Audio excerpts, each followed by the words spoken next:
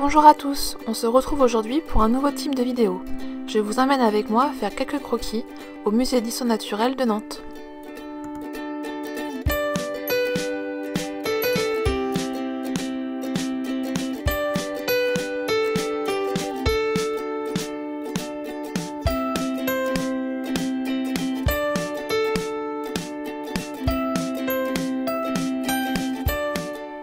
En déplacement, j'utilise un grand sac qui se porte à l'épaule dans lequel je peux mettre tout mon matériel. On commence avec tous les carnets, prenez différents types de papier ainsi que différentes tailles. Les carnets avec un dos rigide sont plus pratiques. En déplacement, j'aime beaucoup les feutres Faber-Castell qui ont une pointe pinceau. Pour l'aquarelle, je prends la plus petite palette que j'ai ainsi qu'un pinceau de voyage. Je prends une petite boîte en plastique hermétique pour l'eau. Prenez tous les crayons qui vous plaisent et n'oubliez pas la gomme et le taille-crayon.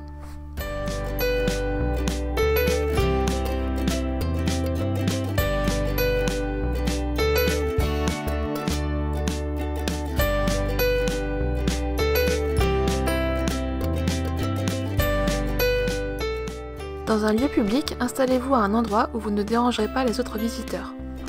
Pour être à l'aise, je me suis installée sur des fauteuils mis à disposition. En croquis d'extérieur, il faut aller assez vite, alors je place rapidement les premiers traits.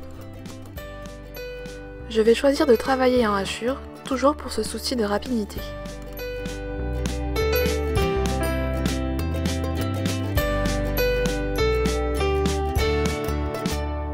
Pour mon deuxième sujet, j'ai envie de couleur, mais l'aquarelle n'est pas très pratique dans un musée. Je vais alors utiliser la sanguine.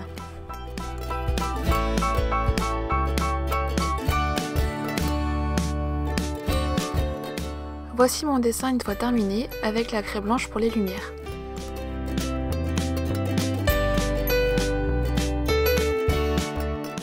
N'oubliez pas d'annoter tous vos dessins avec la date et le lieu.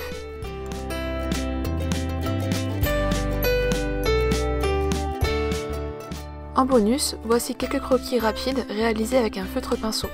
Je tiens à remercier le musée et son personnel pour leur accueil. N'hésitez pas à me dire si ce nouveau type de vidéo vous a plu, et à bientôt